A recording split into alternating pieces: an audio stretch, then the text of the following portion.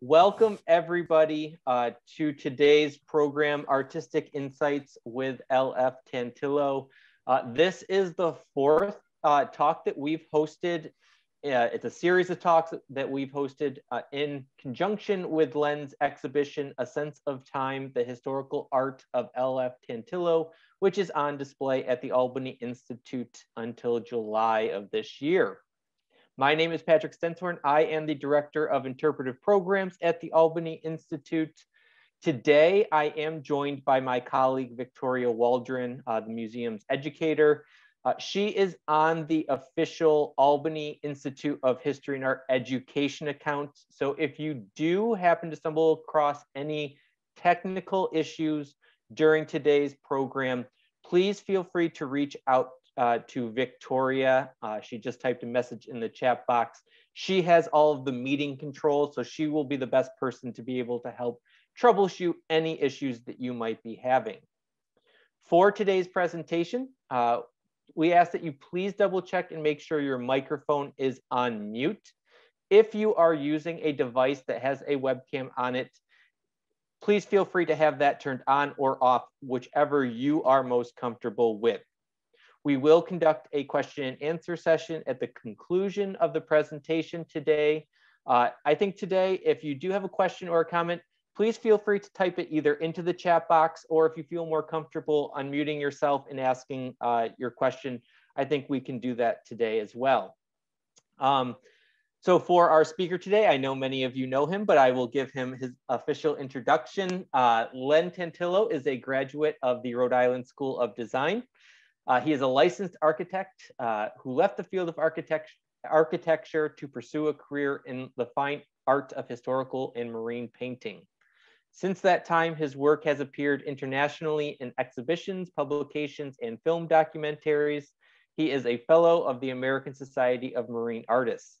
His work is included in the collections of many institutions like the Fenimore Art Museum, the Minnesota Museum of Marine Art, the Albany Institute of History and Art, and numerous historical societies and corporate and private collections in the United States and abroad. He has produced hundreds of paintings and drawings of New York State history, and in 2016, he was elected a fellow of the New York Academy of History. So please join me in welcoming Len Tantillo. So are we all ready to start, Patrick? We are all good, all good to go. Okay. Well, uh, first of all, I want to welcome everybody to um, this uh, video, uh, which is part of a series that um, are, are being presented by the Albany Institute of History and Art.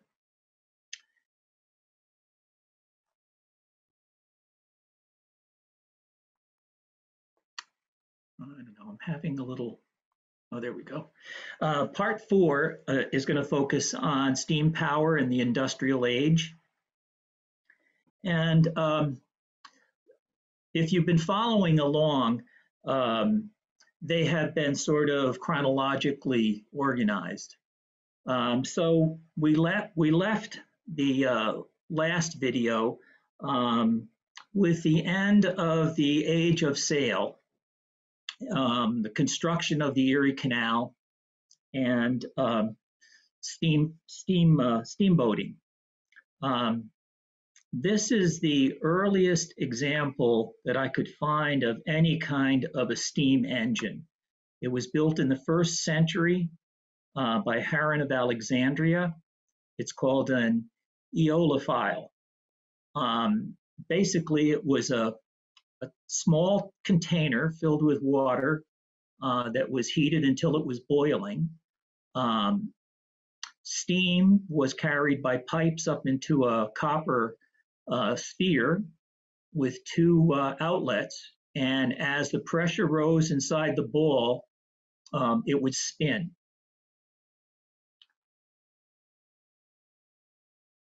It took 15 centuries for inventors to start to figure out what to do with that um, phenomenon. Um, and it was inventors um, like uh, James Watt and others uh, that um, were able to make a machine out of it. uh, Jonathan Hull, another English inventor, proposed a paddle uh, steam powered tugboat. Uh, it never uh, was was built, um, but it was proposed in the uh, early 1700s, and that invention was followed by others. Uh, by the late 1700s, um, a French inventor had actually uh, constructed a steam-powered paddle wheel uh, steamboat.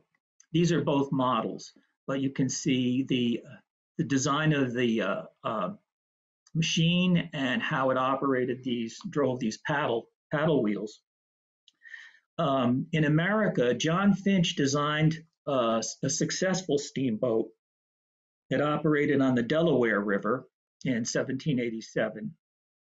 Really unusual contraption in that uh, the steam engine actually operated oars. So it wasn't very practical, but it did it did work. He built a full size version of it, and he did he was able to operate it. About 20 years passed. Um, Robert Fulton, uh, with financing from Robert Livingston, a prominent from uh, the prominent Livingstons of uh, uh New York State, uh, was able to build a steam-powered passenger uh, steamboat, the first one. This is a photograph of a replica of Fulton's steamboat that was built for the Hudson uh, Fulton celebration in 1909. Um, so in August of 1807, uh, Fulton, with passengers on board, made the journey from New York to Albany. It was a two-day trip um, they spent the first night of their travels uh, at the home of his sponsor, Robert Livingston, who had a mansion high above the banks of the Hudson River, uh, south of Albany, called Errol House. Um, the building is gone. Um, this, it's part of a National Historic Site. There is a mansion there uh, that was built later um, for his family, but the original ruins are there. And there are drawings and a few photographs of the original uh, Livingston house. That would have been the house that um, Fulton and his, his uh, guests would have stayed at. So um, I built a digital model of the house uh, based on what I could see from the photographs. And with that, I put together uh, this painting of uh, the beginning of the second day uh, on in the voyage of the North River Steamboat, as it was referred to then, Robert Fulton's famous steamboat, which later came to be known for the estate of Livingston. Um, it was referred to from to this day as the Clermont.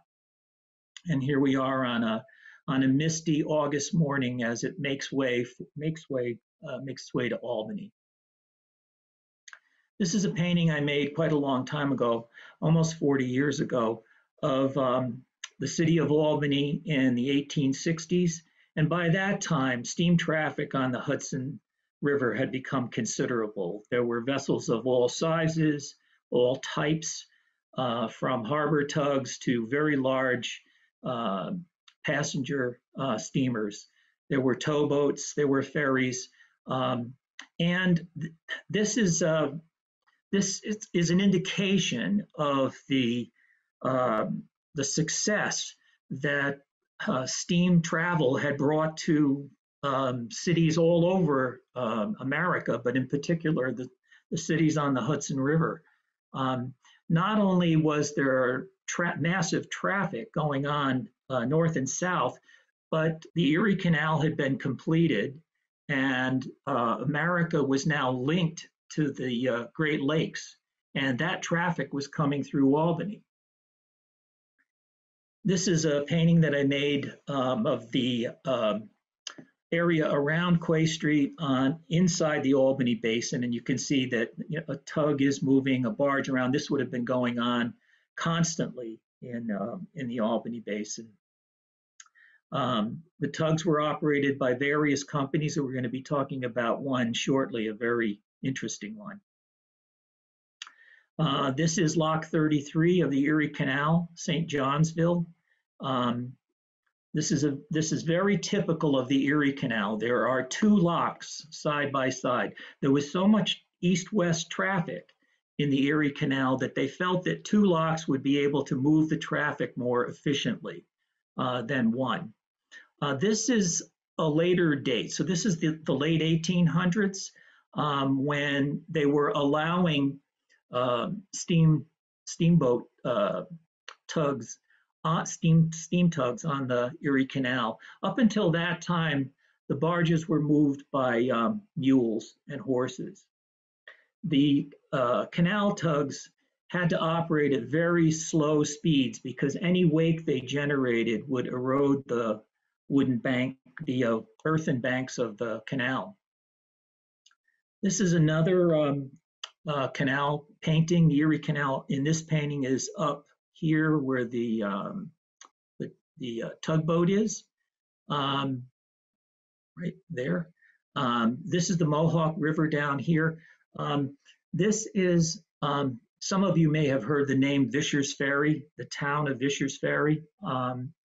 This is actually Vischers Ferry, this vessel. It was a very simple double-ended ferry. It wasn't operated by oars or sails. Um, it was operated by the current in the river, and it was very clever. It was an invention that had had been around since Roman times. There was a cable strung across the river, and um, there was a rig at both the um, the bow and the stern of the ferry. And by shortening these uh, cables, shortening one side, lengthening another, and creating an angle, just the current of the river would propel the vessel from one side to the other, and then they'd reverse the process and it would come back.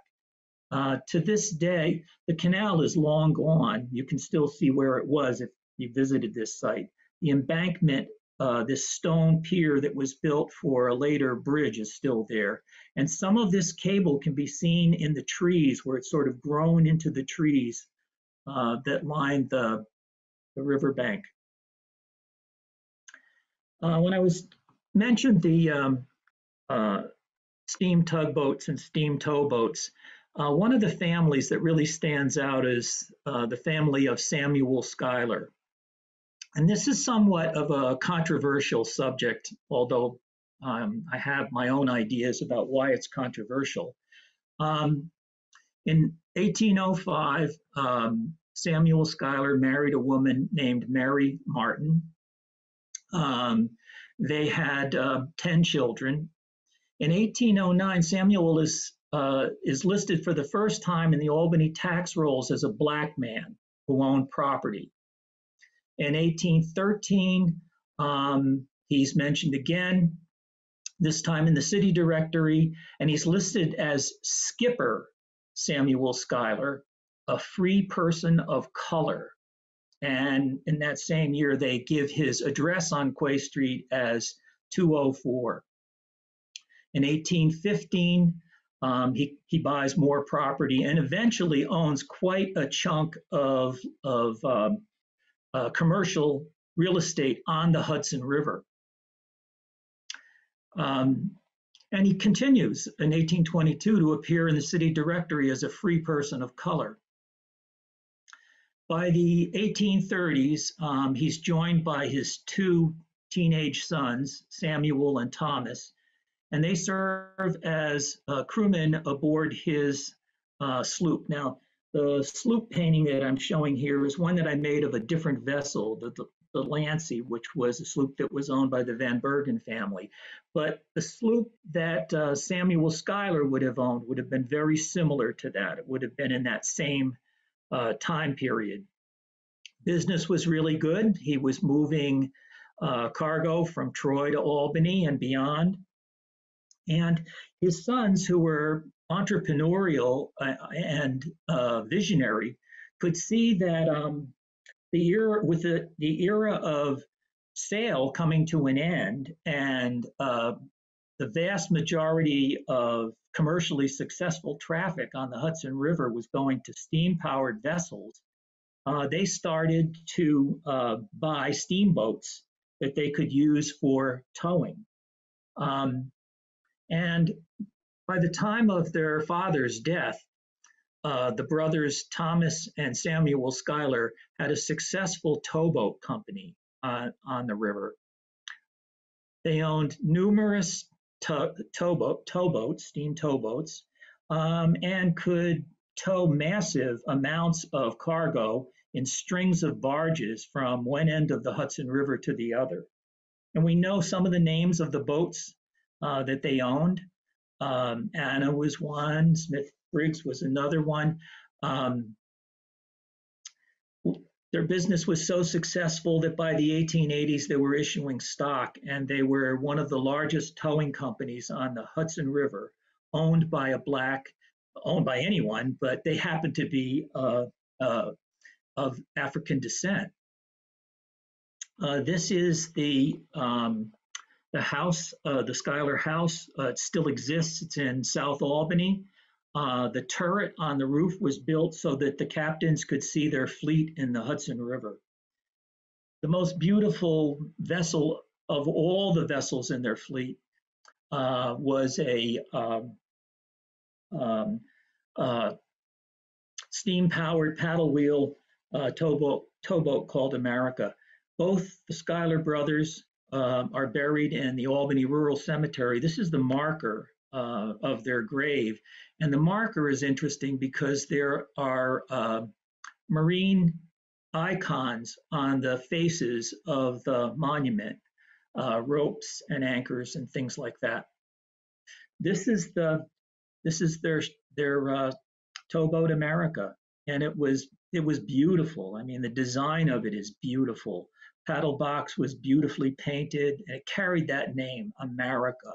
So I titled this painting Portrait of America, and the character that I've placed up here on the upper deck is Thomas himself, sort of looking downriver. This is a painting I made of the Dayliner Albany, um, built later in the 1800s.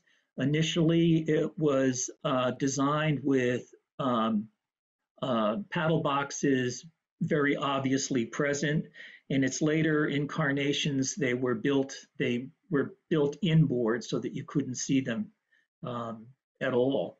Uh, Albany was the sister ship to the New York, and um, the Albany and the New York operated it. They'd begin each day at opposite ends of the Hudson River and pass at approximately Poughkeepsie uh, to the opposite port.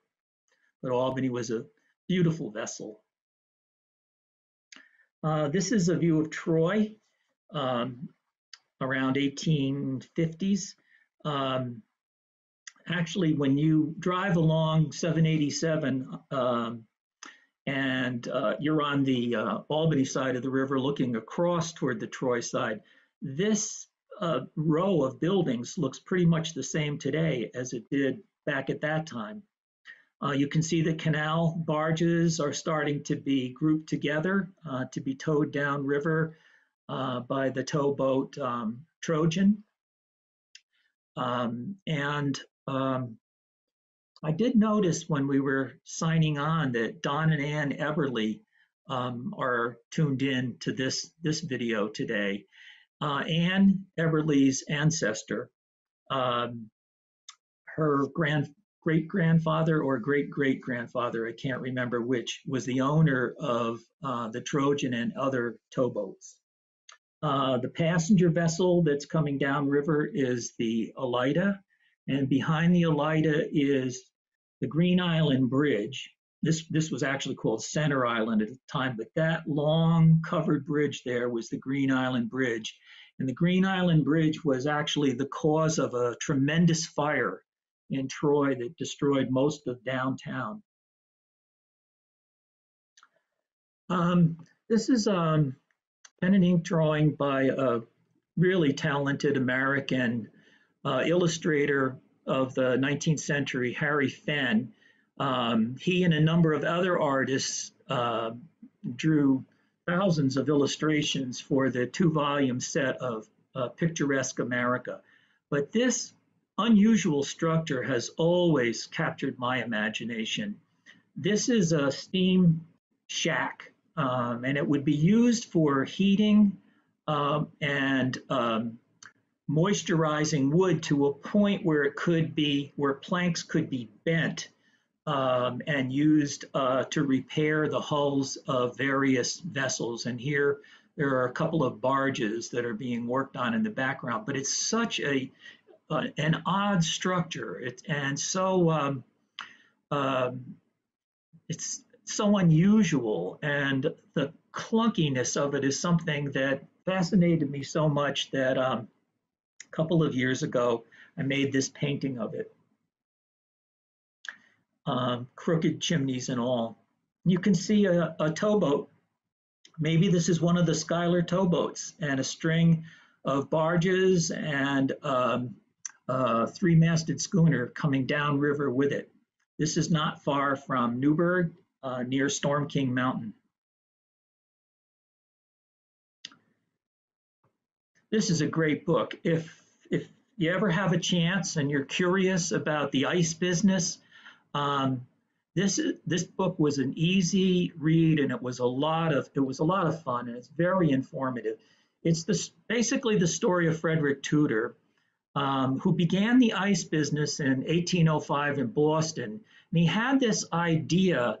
Uh, this is before you could refrigerate any other way of uh, cutting blocks of ice out of rivers and ponds and lakes, storing it somehow, and then um, in the summer months, shipping it south uh, to be used for making things like ice cream. Um, it was a business where it had, obviously, it was trial and error. So it didn't, he wasn't always successful. He had times when it worked and times when it didn't. But the saga is an interesting one to follow.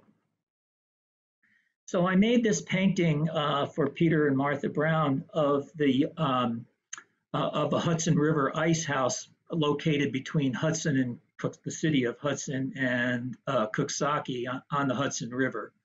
Actually, it's right across from Stockport Creek. It was, it's gone now. Um, the lighthouse that you see here in the background was called Four Mile Point Lighthouse. That's also gone. But this ice house had a tremendous steam plant here. And the steam engines that were part of this facility operated these lifts. In the wintertime, the blocks of ice would be cut in the river um, and they'd be placed on shelves on the lifts and then carried up into the ice house and then using elevators um, and conveyors, they would stack the ice inside the ice house. Uh, and then in the summertime, they'd reverse the process to load barges full of ice and then ship them south down the river. The um, uh, the sloop, the two sloops that are here, the two schooners that are here in the sloop um, are carrying uh, sawdust from the Albany Lumber District. The sawdust at that time was the best insulator for the ice, and this is what kept the ice from uh, melting. And it was also used as the insulation for the ice when it was loaded aboard the barges uh, to keep the ice in pretty much um, uh, decent enough shape to be able to sell when they finally got to a port. Uh, this is a map um, of Pulaski from the um, Library of Congress archive. It's a great map. Um, Pulaski is an example of the height of water power and uh, industry in uh, New York State. It was one of the most successful mill towns. Um, it's not very far from Lake Ontario. And the water that you see kind of uh, making its way through the community is the Salmon River, which has a tremendous flow. So um, just to give you an idea of how many mills and how the water, how much the water was used for industry, if you kind of zero in into one section of the town, I've circled all the mills, and there were more than these. They had sluice ways that they had cut through parts of um, the, the uh, mainland uh, to carry water to uh, a number of mills that were not on the river itself. And from this uh, uh, information, um, I had been commissioned to do a painting of Pulaski in its golden golden age. So you can see some of those mills here in the background, and here's the Salmon River. Today, the mills are gone. Uh, the community is still making its way along, uh, surviving, mostly because the Salmon River is a great place um, to fish. And uh, you might not be able to see it, but here in the sort of mid-ground of the painting, I have some fishermen in the river. This is the Rondout Creek uh, and the Hudson River in the background. Um, and this was part of the research that I did for uh, a painting a couple of years ago uh, that was commissioned by uh, Bruce and Jenny McKinney um, who live in San Francisco. Bruce and I have been friends um, since we were five years old, and we've stayed in contact all those years. And Bruce really has a, a fondness for um, the Rondout um, and uh, the, uh, the heyday of uh, the waterway. The Rondout is what connected the Hudson River to the D&H Canal. And um, if you look here in the background of this photograph, those are all barges uh, that are were in winter storage. This is just shortly before the canal, the D&H Canal, opened. Now, the D&H Canal went from about the middle of New York State into Pennsylvania and was used mostly for the transport of coal. Uh, this is the administrative building uh, uh for the um, barge company. Um, and then um, here is this unusual structure. This was a coal silo, which you'll see in a couple of more images, including the final painting. This is further in on the Rondout. Um, this is part of Island Dock where the coal would be stored uh, before it was loaded onto barges and uh, transported downriver. Um, I love this photograph. This is the construction of the first railroad bridge that covered this, that crossed this uh, uh, deep ravine at the Rondout Creek. Um, this railroad bridge was built in, or I think was finished around 1880. And what you see here is um, massive timber scaffolding that was put up um, uh, during the construction of the trestles that held the, the bridge work up. So uh, another uh, great bird's eye view from the collection of the Library of Congress. This is of Kingston. This is such an amazingly detailed uh, document. When you zoom, zoom in on it, you can see um, just how much detail there is. The churches are there, the buildings are there. They're carefully rendered in. Uh, for instance, there's that coal silo that we saw in the photograph right there, and it looks very much like it. And all the buildings, uh, especially the ones along the waterfront, have been detailed in that way. So this was a valuable uh, reference uh, for the painting. Uh, these are some of the digital models that I built. Um, I also uh, used um, a series of Sanborn maps, which I stitched together. These are tax maps that were made in the late 1800s, and they show every building for tax purposes. Not only every building, but um, all the support structures, barns, uh, sheds, things like that. And there's a key to the Sanborn maps that tells you whether they were brick, stone, or wood. So um, a document that was very helpful. Um, this is the Sanborn map used um, in a digital model where I'm starting to uh, put in all the buildings that I can see on the map that are going to appear in the painting. The painting started with a sketch on a pretty large canvas, almost 50 inches across. Um, and often when I paint, um, I'll do an underpainting um, and the underpainting is really designed to kind of set a, uh, a tone or a character for the piece. You don't often really see it, but um, in the finished painting, um, you get a sense of uh, what it's doing. And so in this case, I just went, I went very heavy on color, very high color key, and I created this, probably will look to most people like an abstract painting um, of the various, the intensity of tone that I wanted, um, the feeling that I wanted to have come through in the painting. Now, in paintings that are big and complicated like this with hundreds of buildings, I find it impossible to think of it all at once and kind of get it all down um, uh, as a sketch and then start to refine it. Um, I guess maybe partly because I'm so nervous about it. Um, so I started painting like this by actually working in sections. So here I've started a section of the painting and I just kind of continued that until I had the whole painting in at the first stage. And then I went back and did some glazing and some refinements and added some details. But it went from this over the course of the next many months um, to this. And this is one of the more complicated paintings that I've done. And as I said, it was uh, commissioned by my friends in California, uh, Bruce and Jenny McKinney. Um, and they are the uh, premier sponsor of the exhibition at the Albany Institute, um, the Sense of Time exhibit. So here you see again that coal silo.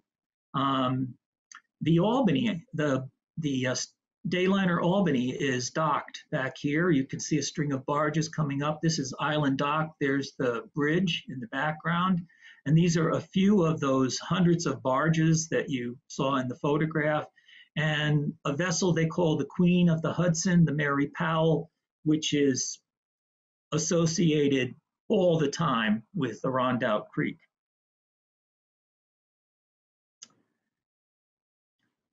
Um, this is Kate Walker, um, German-born, a widow um, with a 10-year-old son who comes to America, uh, falls in love with a um, a lighthouse keeper named John Walker. They marry in 1884, um, and um, she moves into uh, the lighthouse, which he is in charge of, the Sandy Hook Lighthouse in New Jersey. And it's a charming place, and Kate loved this place. Um, uh, over the course of the next year, uh, she became pregnant with her second child, and um, John was offered a job in another lighthouse that paid quite a bit more than Sandy Hook.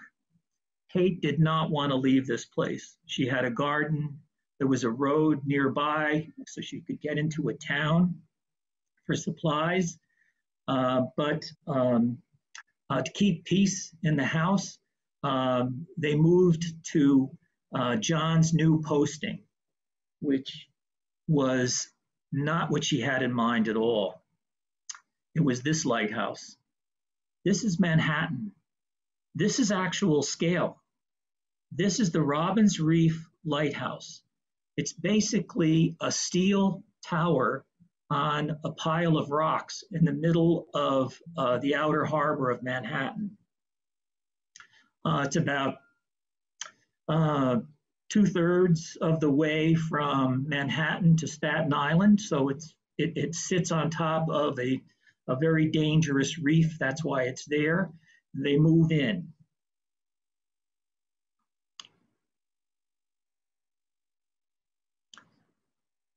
This is not Kate's idea of uh, a life she signed on for. They live in the lighthouse. Um, she has her second child, a daughter. And um, within a few months of the birth of her child, her husband died. Now, the Lighthouse Service couldn't find a replacement to take over this lighthouse. and they asked Kate if she would mind operating the lighthouse until they could find someone. And she agreed. Well, uh, from a few months, it turned to a few years, which turned into a few decades. And Kate Walker operated that lighthouse for 33 years. She um, rowed, uh, used, used the lifeboats that were at the lighthouse to take her kids to school every day. This is the painting that I made of Kate's light, and you can see in the background there's the Statue of Liberty. Um, the figure at the lighthouse is Kate. Uh, this is a lighthouse tender. Um, uh, the gardenia, all the lighthouse tenders were named after flowers.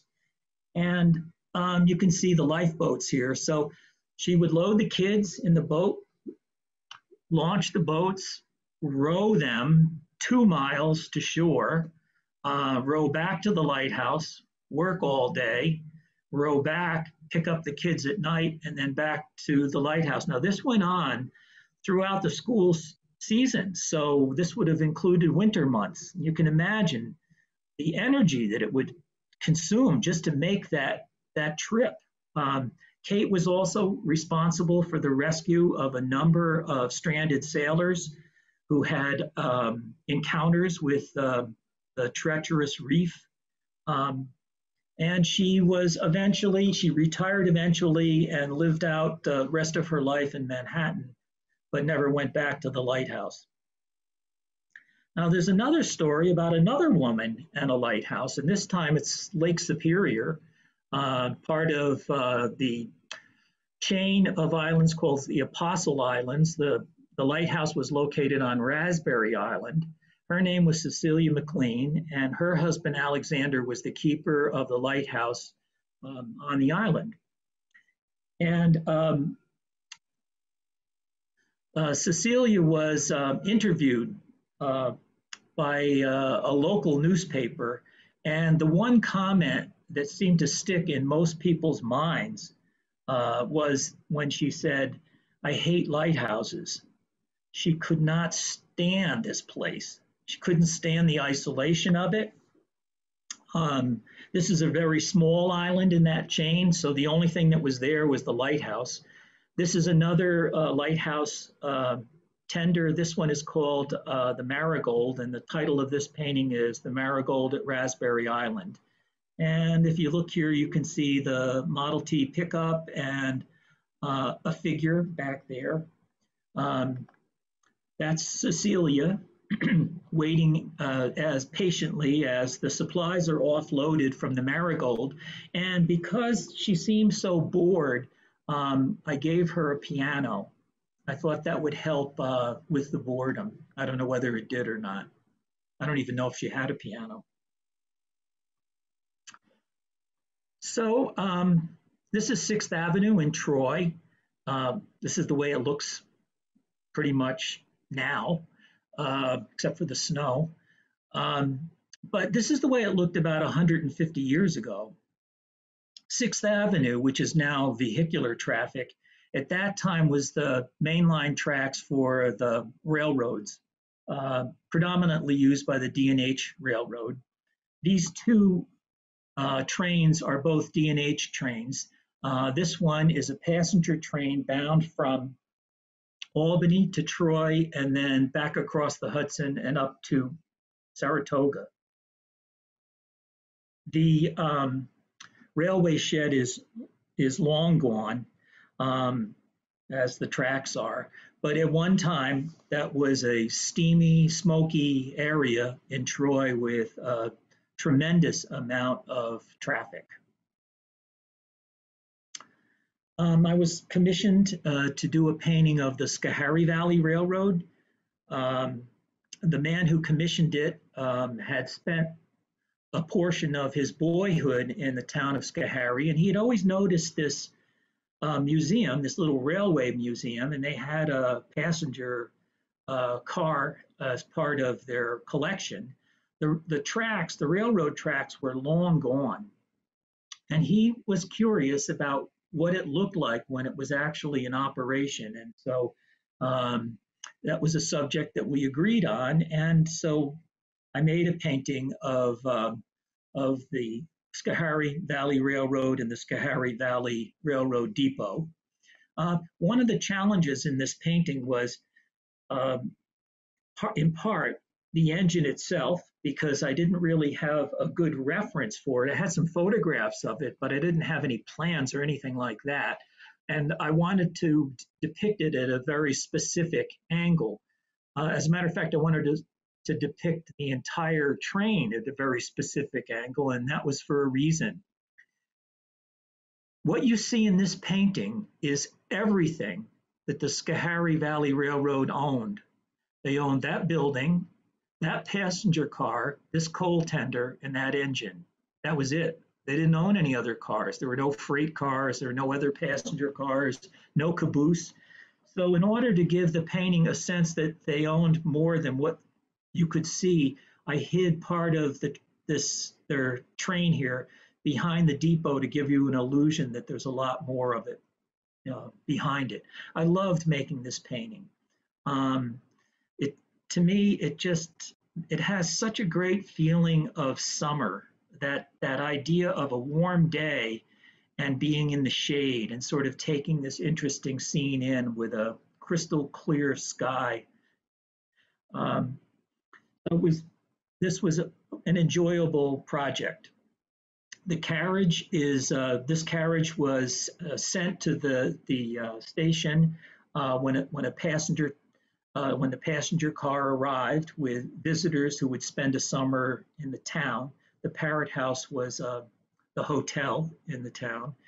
Um, the, um, the, the main source of revenue for the Schoharie Valley Railroad was the Borden uh, Creamery, which was not far from the station here. Borden's uh, was a dairy company, um, and they um, they had their own car. They had their own uh, freight car. And if you've ever heard the expression milk run, that's what this, this that was the main business of the Schoharie Valley Railroad. They would hook up the train to the milk car and they would haul it eight miles up line to the uh, D&H terminal, and then the D&H Railroad would take over to take the, their product uh, down to market.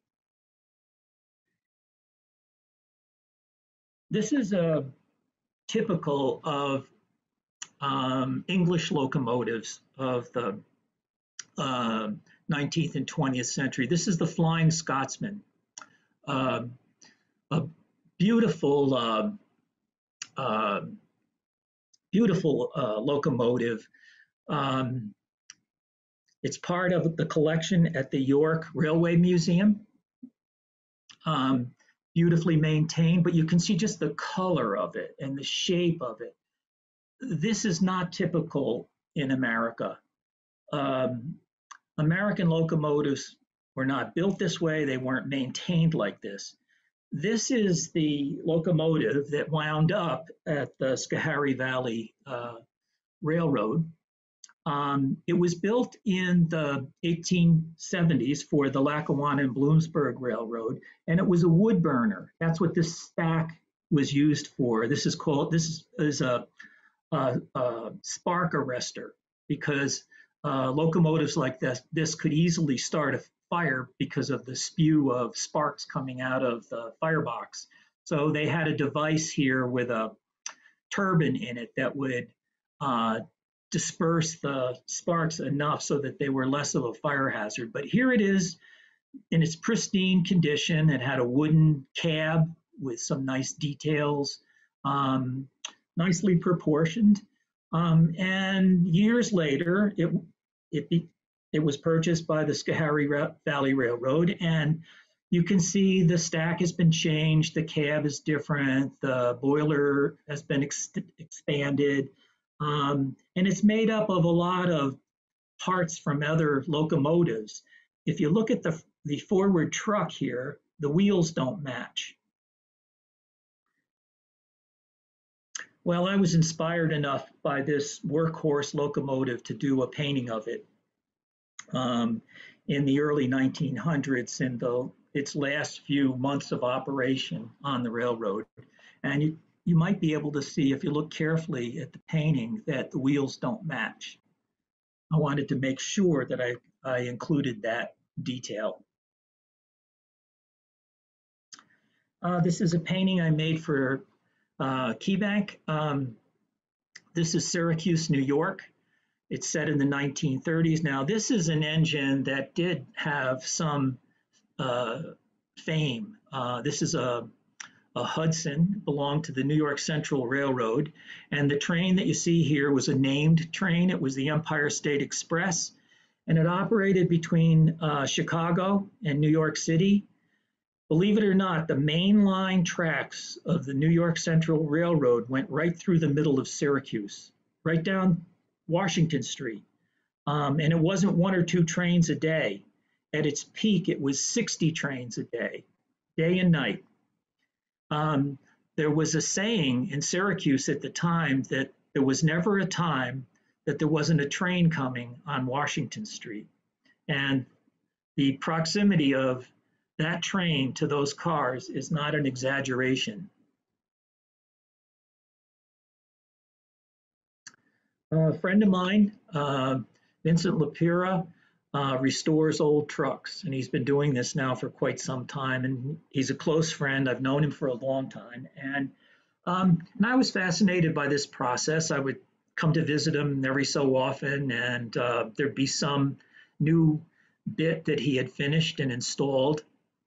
And I asked him if he'd be interested in a painting of his his truck. This is a federal 1926 federal dump truck, big heavy truck, and um, so he agreed. And over the course of a couple of months, um, I made this painting of that federal dump truck at a construction site in Troy. The bridge that you see in the background is the um, Green Island Bridge. Um, it was a lift bridge. It was originally built as a railroad bridge, but in 1926, it was altered so that it could accommodate vehicular traffic.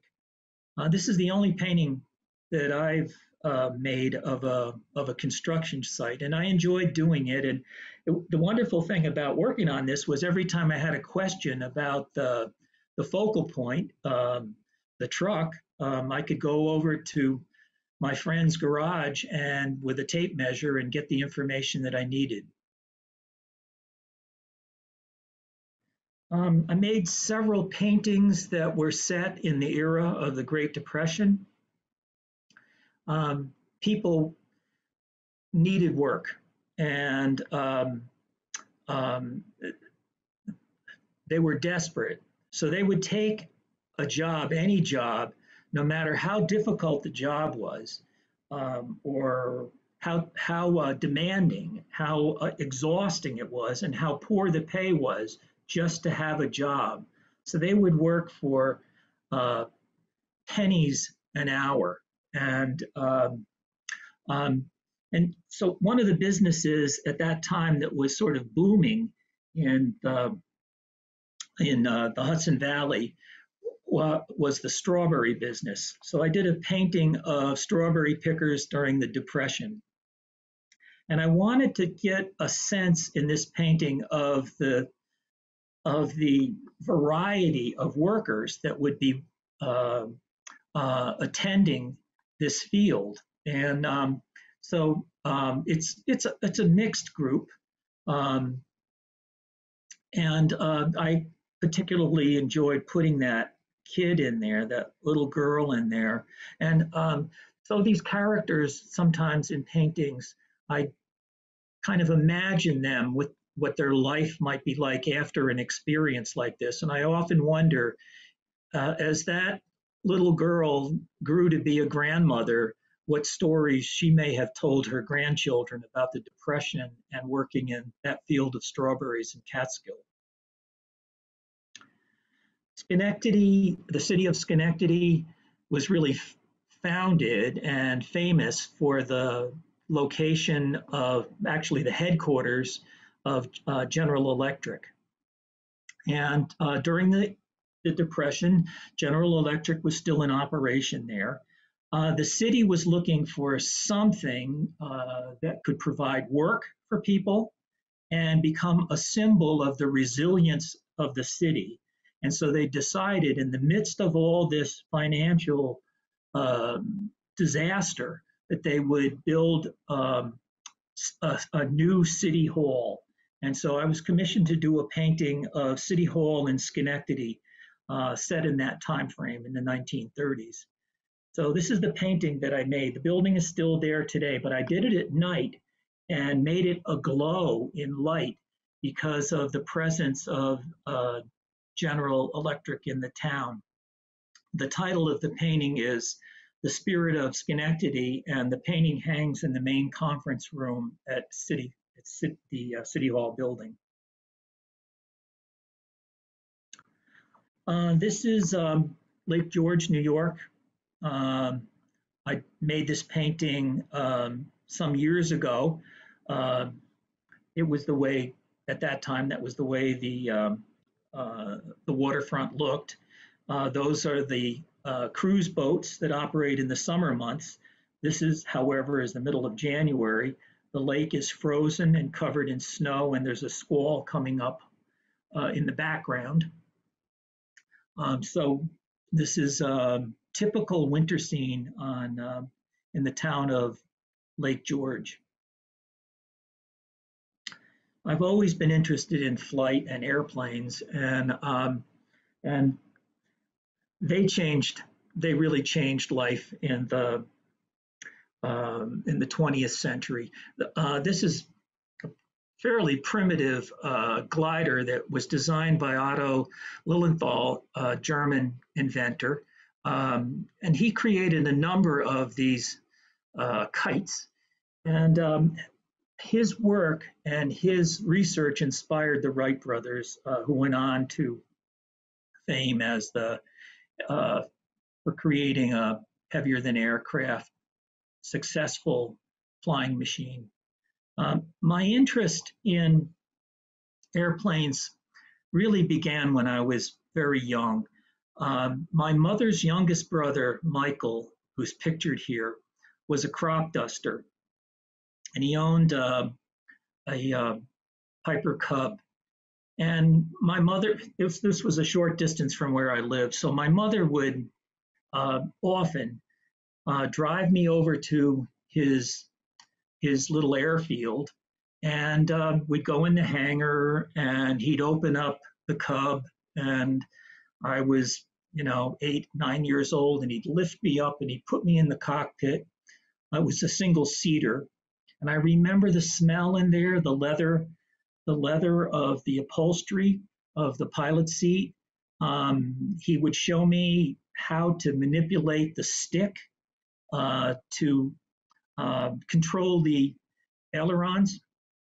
Um, I was too short to reach the pedals, so he, but he explained how the rudder was operated. Um, and uh, he was a he was uh, a hero of mine. He used to fly after a day of working on his farm. He would fly over our house, and um, I'd be out in the yard playing when he flew over. And I remember he would wave his wings of his airplane as it passed over our house. Um, when I was nine years old, he had a, an accident with this aircraft and, and was killed. And um, it was a traumatic event for my entire family and for me. Uh, but it never destroyed my interest in aircraft. And that's why there are so many paintings of airplanes um, in my portfolio. Um, this is a wonderful place to visit. This is um, near Kingston, uh, kind of across the river from Kingston and north of Poughkeepsie in Rhinebeck, New York, uh, the Rhinebeck Aerodrome, and it's a collection of World War I aircraft, replicas and restored aircraft that are, are flown in air shows uh, once a week in the summertime. And on one of those visits to the museum, I photographed uh, an English aircraft, uh, Sopwith Dolphin, and then uh, painted it um, over the Midlands in uh, England. This is circa 1917. Um, these are uh, biplanes from the the, uh, the years just before World War II. That's a Hawker Fury over here, and both of these are uh, Army, U.S. Army uh, Curtiss Hawks. Um, I love the uh, the paint scheme for this particular airplane. Uh, in this painting, um, uh, the uh, the Hawk is flying over Lake Champlain. This is Valcour Island in the background. During the Second World War, New York played a major role in the aircraft industry uh, building planes for the Army Air Corps and the Navy.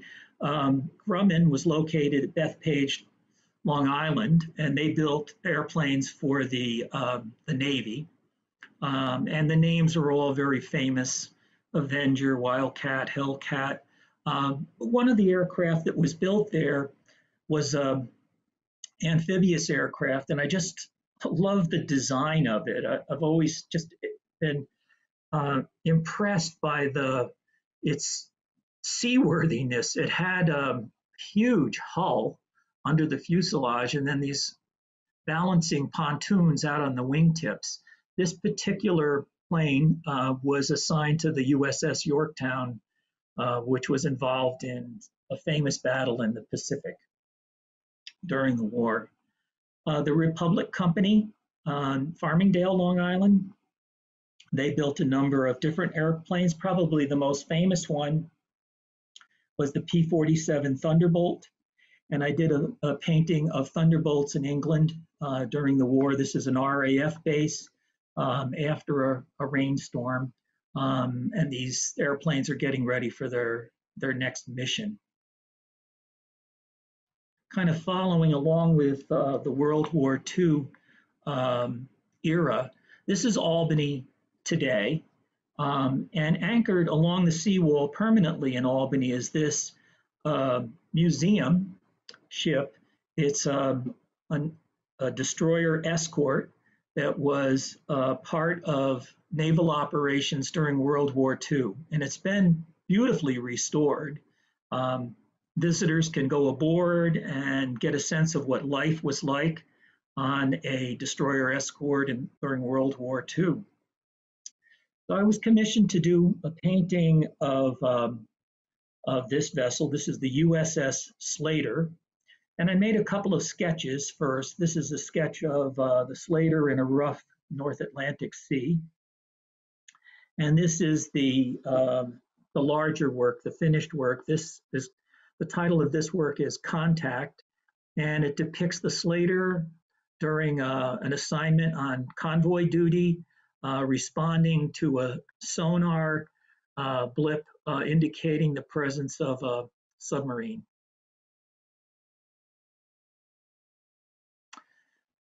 Um, Stratton Air Force Base is located in Schenectady, New York, just outside of Schenectady, New York. And um, they have um, uh, these Hercules uh, C-130s there.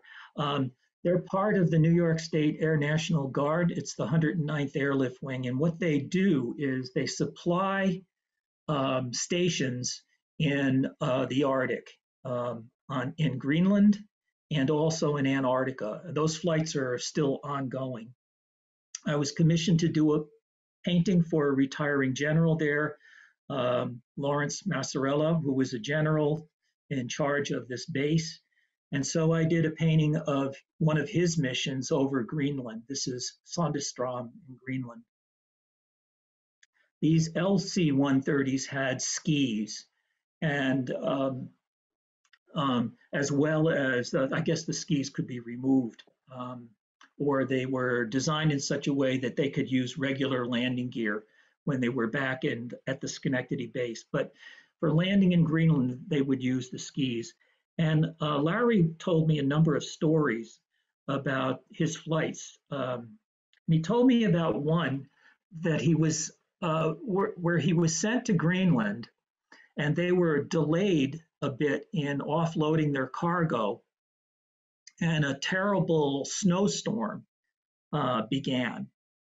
and the snow was really coming down and piling up.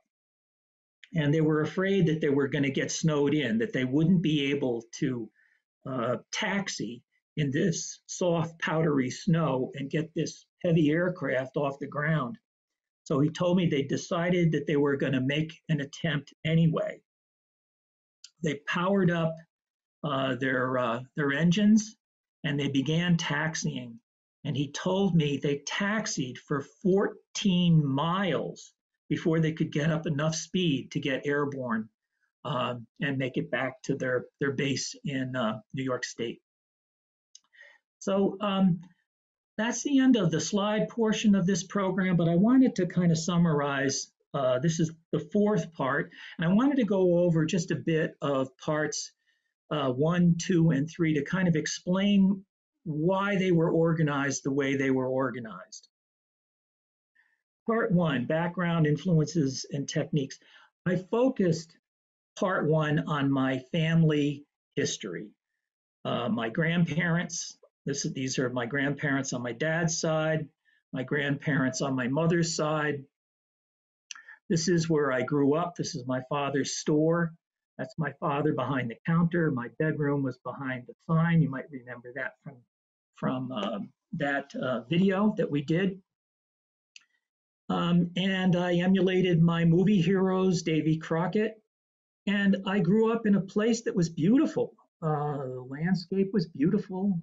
The hills, the mountains, and the stone houses of New Paltz, all uh, part of this experience of of growing up in the Hudson Valley. And the reason why I show this, and I want you to see this, is that as an artist depicting, trying to objectively depict history, I can't help but have part of me, part of my life experiences creeping into the paintings. I try to control it as much as I can because I want you to believe that what you're looking at actually took place. So, but you still need to know this about me.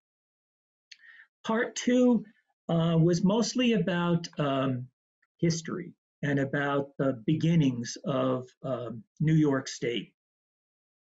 And that focused on the people who lived here before the arrival of Europeans, um, Henry Hudson and the arrival of the Dutch, um, the uh, uh, the settlement that kind of reached beyond uh, the towns and the forts,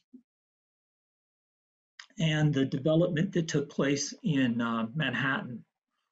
And um, I wanted you to get a sense of how this place evolved uh, and the techniques that I used uh, to create these paintings. So a, a, substantial amount of time was spent in um, in this video to kind of get that message across. When we got to part three, I wanted to give the audience a sense of the research. So I talked about the maps and the documents that I used. Um, these are archaeological uh, diagrams. Um, made by Joe Diamond uh, for the painting that I made of New Paltz, my hometown, in uh, the 1680s. This is not, I didn't, in, I invented this scene and I interpreted the elements in this scene, but this footprint of these structures was actually found. So it's based on, on fact. This is Albany. Uh, this is a painting that is in the collection of the Albany Institute. Same thing, trying to really to create an environment that was believable and an event that we know actually took place. So that was the last of the images and or one of the there's one more. But I want I want you to know that um, my goal has always been to foster interest in grassroots history, to make the people who live on this land, in this environment, aware of what took place all around them, and to portray it as carefully as I could to get the story as right as it could be. one of the ideas I had in mind was that maybe if people knew more about it, they would take better care of it before they lost it. And so the last slide for today is uh, this line from the introduction that I wrote uh, for the book, A Sense of Time. History is what we all share like water and air. And I believe totally in my heart um, that history is something that can be used to bring us together.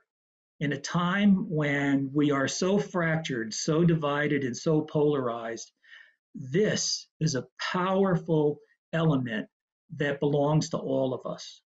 And so, with that, um, that's the end of uh, this program. Well, thank you, Len. And I, I will just sort of, with a comment um, based on those last two slides about history, I will say based on a lot of the comments that come through from visitors from the exhibit about your attention to detail, uh, the research you put into all of your paintings, that I think you do inspire that connection to history. Well, that's good because uh, otherwise I would have wasted 40 years. uh, so at this point, if anybody does have any questions or any comments uh, that you'd like to ask um, Len, please feel to either, if you're more comfortable typing something into the chat box, uh, I can read it off to him. If you feel comfortable and you want to unmute yourself and ask, that's perfectly okay too. Um, there were a couple just comments that came through during the presentation, so I'll read those really quickly. And first two were sort of more historical in nature. Uh, Pamela, in reference to um, the, the painting where you referenced the Troy fire, fire she put the date on there. The fire happened May 10th of 1862. And then in reference to the Green Island Bridge, um, she said that that itineration of the Green Island Bridge succumbed to high water March 15th, 1977. The new one seems to be holding up okay. Uh, and then Caroline, in reference to your story about your uncle, said, um, This is a lovely tribute. Sorry for your family's terrible loss, and thank you for sharing the important memories. Um, Rosaria said a wonder a wonderful presentation as always. Uh, another comment. Um, thank you so much. Uh, having having enjoyed everything you presented over the past few months. Um, Jeff and, and Ricky asked, where is Schuyler? I'm going to assume that that's in reference to uh, maybe Samuel, Samuel Schuyler um, and maybe in reference to where he might be buried, if we know. Uh, we don't know where um, Samuel Sr. is buried, although his um, family um, uh, included his name on the monument at the Albany Rural Cemetery for a really great description of the Black Schuylers. Um, uh, do a Google search of Captain Samuel Schuyler Albany, and I think it will bring you to Stefan Bielinski's um, New York State Museum website, where he describes in great detail the property they owned.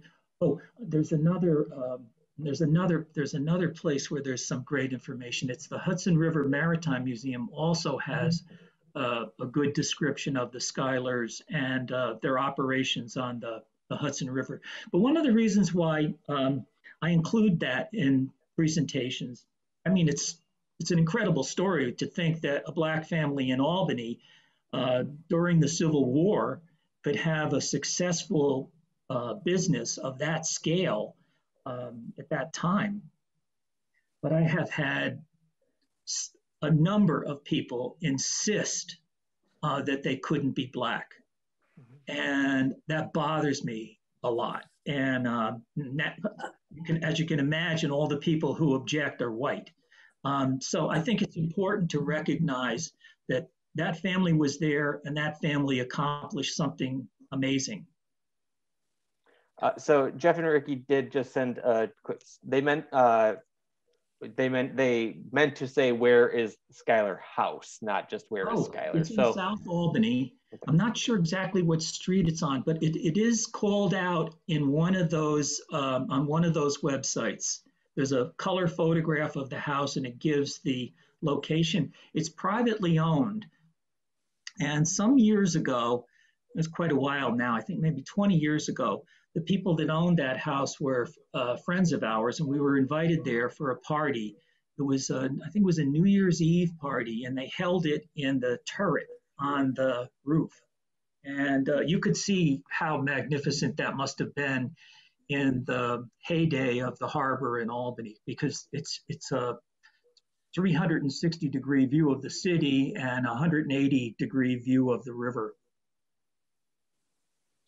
Um, uh, some more comments. So Kim said that you make us all feel like we are there. So I think that's part of what you are going for. Uh, Mora said, really enjoy enjoyable program. It's fascinating to see how you develop and assemble your scenes. Um, and Pamela also said that she very much admires and appreciates your attention to detail and accuracy, which is why the baker's wife, um, seen in a previous program, puzzles me. Why is she riding side saddle on the wrong side of the horse? Uh, why is she riding a farm horse? uh, I think you should tell her to maybe she should make a print and turn it around the other way. Like, yeah, there, there doesn't really exist anyway. um, Caroline said and asked, uh, she's marveling at your encyclopedic knowledge. Two questions. Are there particular New York history slash landscape painters whose work you admire or emulate? And two, given your interest in preservation, are there particular areas of the Hudson Valley that you you feel are at risk of being lost to history? Yeah, I can think of one right off the bat. Albany. uh, but it's true everywhere. You know, I'm, we talked about Pulaski. It's um, it's really a, a it's a sad uh, shadow of its former self. And now you can't we can't recreate the industry that was here in the 19th century, uh, but we haven't done a very good job of figuring out alternate uses uh, for some of these places, and maybe that's just the dilemma of our time. In terms of artists that I have found inspiring, um, um, the names that come to mind, um, Fitzhugh Lane was a great American painter, uh, uh, lived in Gloucester. Um, E.W. Cooke is a favorite of mine. He's a British uh, painter, uh, marine painter. Um, love his work. Very, in, it's really inspiring. Um, of the living contemporary artists, probably the top of my list would be John Stobart, who's now approaching 90, um, a man of incredible skill and ability and a great interest in history. And then probably maybe the absolute top of the list uh, would be Rembrandt. And, um, and the reason why I like Rembrandt so much is because um, he, he, he depicted the world that he saw. He depicted it the way it was. I mean, he's he's famous for painting people's portraits and uh, and painting them the way they were. In at the beginning of his career, this was a um, novelty, and people were drawn to him because of the fact that he could create such a great likeness. Uh, but then, you know, after a while, um, he started to get clients who said, you know, can you take a few pounds off? And um, I want to be on a horse, and I don't want the wart on my face over here. And so he fell out of uh, his popularity waned.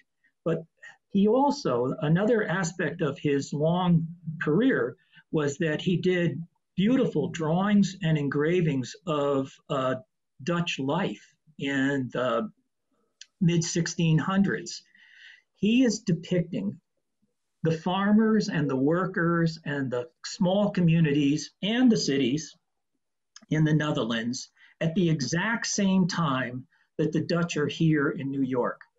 So when I look at Rembrandt, it's they aren't photographs, but it's a person who is recording the people and places of his time that influenced New York State so much. So he is other than being a, a masterful uh, artist, he was a great documenter of his era. So those are the artists that come to mind right away, but there are many, many, many others. Uh, Christine did type in the address of the Schuyler House. So uh, 2 Ashgrove Place off Grand Street is the location of the Schuyler House.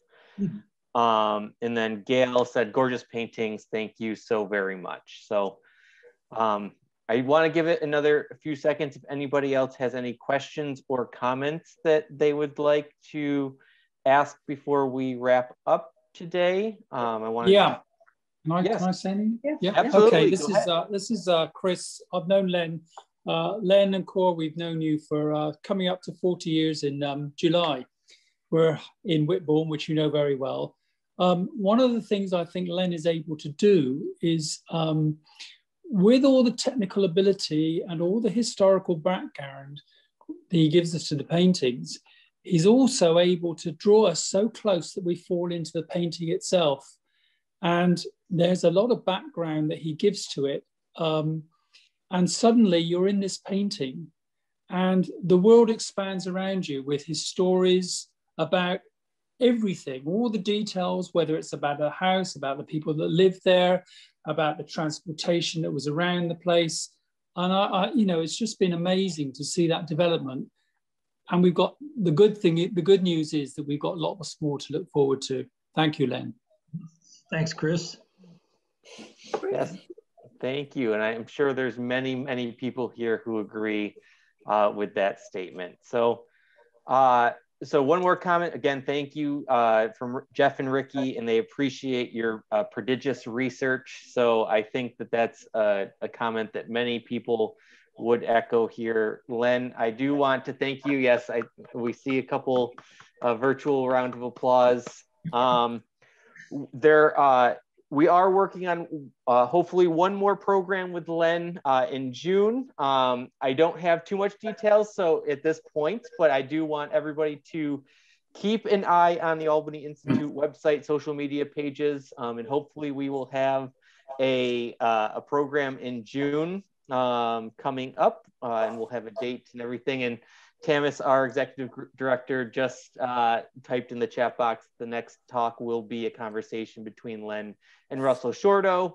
Uh, we are working on a date for that program, um, which is still to be determined. So please stay tuned uh, for more information and uh, keep an eye on our website and social media sites for an announcement. Um, and thank you everybody who joined us today. Len, thank you again for your uh, program and I wish everybody a great rest of their day. So yes, one more round of applause.